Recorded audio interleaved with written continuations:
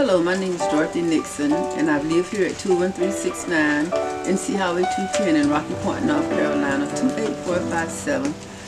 All the way from 1989, I'm sorry, from 1969 until now, until the flood came, Florence in 2019. The flood came and I had to leave in September 13th.